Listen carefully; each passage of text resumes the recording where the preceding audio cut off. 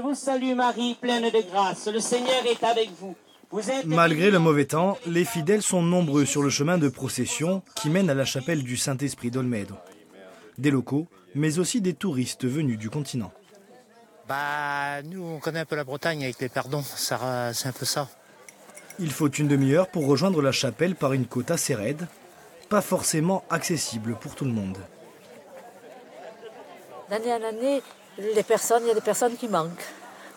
Bon, mais tant qu'on peut, on le fait. Hein.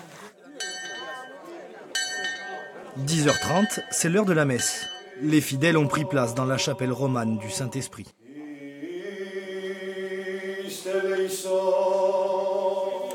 Pendant ce temps, dehors, les membres du comité d'animation d'Olmedo préparent le repas qui sera offert à la centaine de personnes présentes aujourd'hui.